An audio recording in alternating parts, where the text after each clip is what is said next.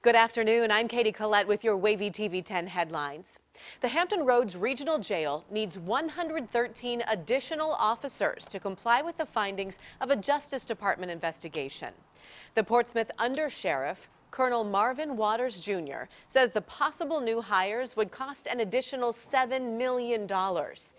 As we've reported, the two-year investigation by the Justice Department alleged conditions at the jail violate the Constitution and federal law. Our Andy Fox is working to learn more about the potential hires. Look for updates tonight on Wavy News 10 starting at 4.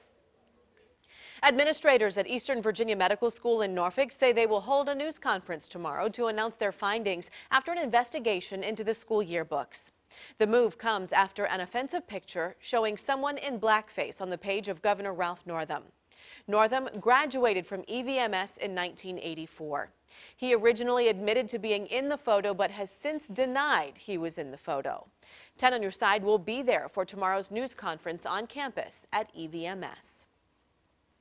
Suffolk police are investigating a deadly shooting. Officers responded to Remington Park on Gentry Street around 4.30 this morning. They found a man dead from a gunshot wound.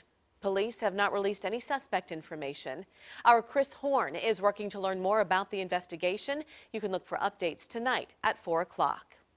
And remember, you can find all of your headlines throughout the day on wavy.com. Our next newscast is at 4. Have a great day.